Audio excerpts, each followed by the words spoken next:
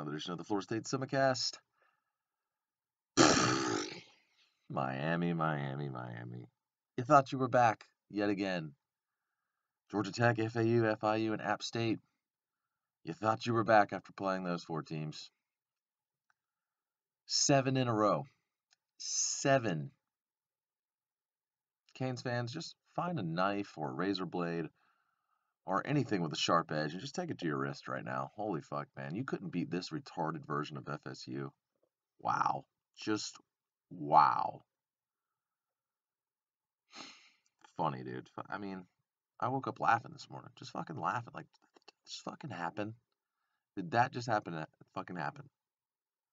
FSU had every reason to lose this game. It was at Miami. They were coming off a heartbreaking loss to UNC. Uh, from what you read, it seemed like the locker room was becoming divided because the offense was doing their shit, but the defense was continuing to suck ass. You know, Miami's riding high, believing in themselves, trying to stop the streak, and you still couldn't do it. Still couldn't do it. God damn, man. Do myself and every other Noles fan a favor. Crawl back into the hole that you just got out of a week ago and don't come out until you beat Florida State. Uh, there's no reason to start chirping the week of the game or if you go 3 or 4 0 again against some shitty ass fucking teams to start the year. No, no, no.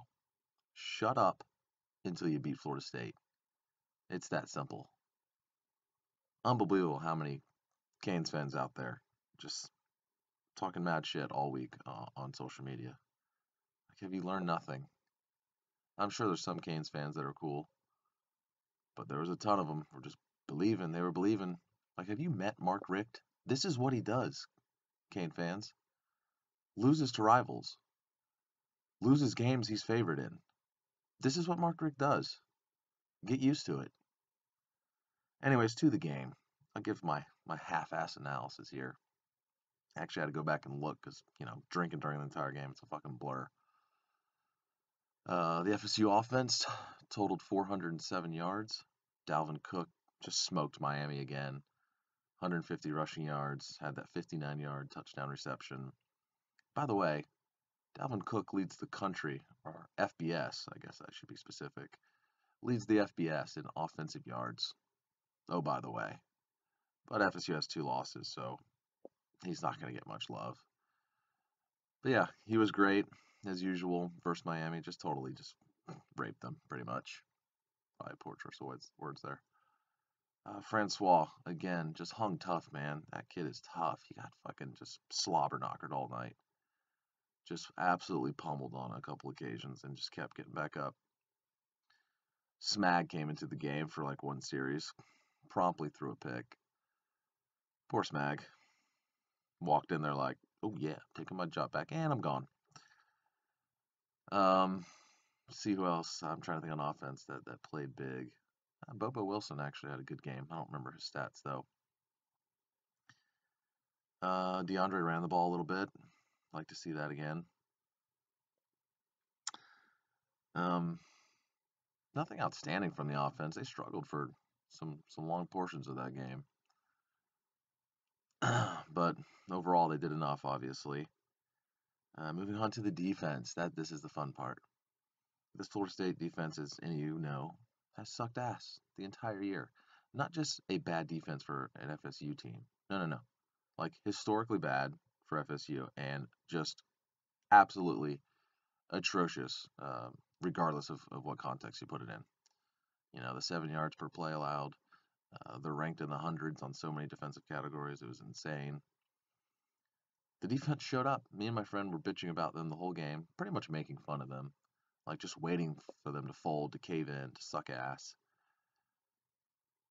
However, throughout the game, we also were noting, wow, they they're they're winning first down. What the hell? Oh shit, they got to stop on third down. Like what what's going on? The defense came to play. Holy shit. And I guess I, I maybe I should have saw this coming. Actually, not exactly this. Maybe I should have saw an improvement coming because if the defense couldn't exert effort or discipline in a game versus a, a rival like this, then they were never going to do it. So I guess this would have been the game this in Florida, of course, where the defense would actually like, holy shit, it looks like they're really, really focused and trying. Uh, amazing. They allowed just, I think it was about 270 total yards, something like that. 270. This defense has given up that more has given up more than that in, in a half. They gave that up for the game. 4.6 yards per play allowed. 4.6. If you heard me just a second ago, they allowed 7 yards per play on the season. They held Miami to 4.6.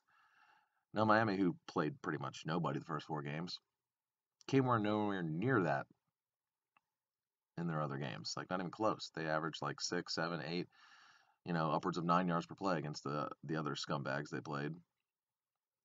I mean, the defense, wow, I just couldn't believe they're getting stops. They were getting a pass rush, and damn, Miami's offensive line, are they not good? I had no idea about them, but they made uh, FSU's D line look pretty good. Just, I can't believe they held Miami to 19 points. Like, I thought for sure Miami would easily get in the 30s. But nope. Didn't fucking happen. Brad Kaaya, can people please get off his nutsack? He is good. He is not great. He is not elite. He should not be in the fucking first round like some jackasses have projected. The dude doesn't have a clutch bone in his body. Has like literally beaten nobody worth a shit in his entire career.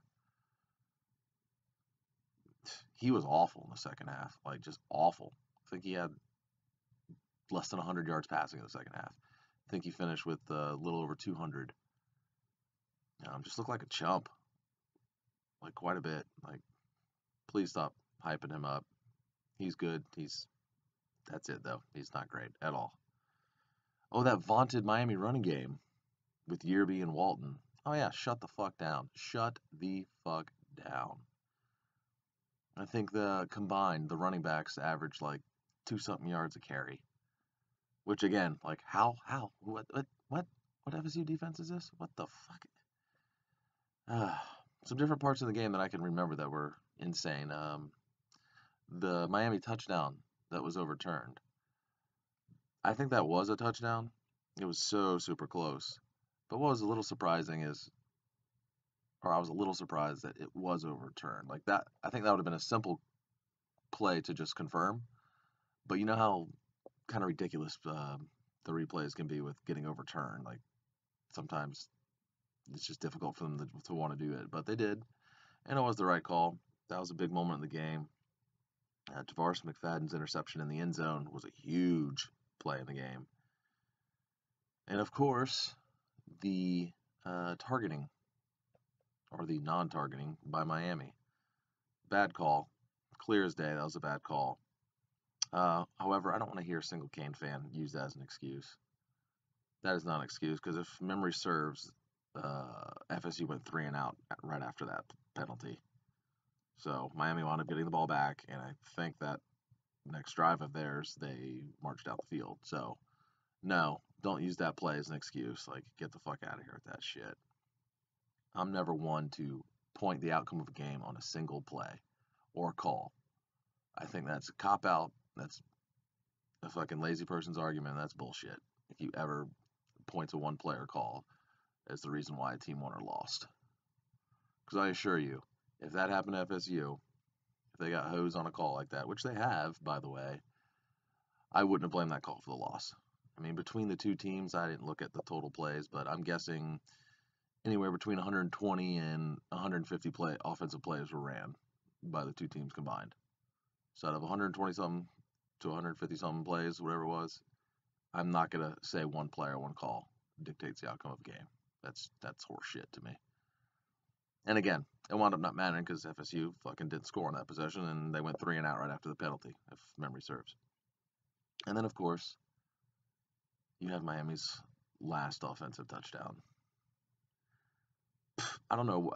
Of course, I'm just being uh, optimistic as I'm watching the game, but in that moment, I thought to, huh, they blocked UNC's extra point last week. Maybe they can do it again. And lo and behold, they blocked the extra point. Whole, I mean, wow. Miami fans, their hearts had to just fucking drop to the fucking floor at that point.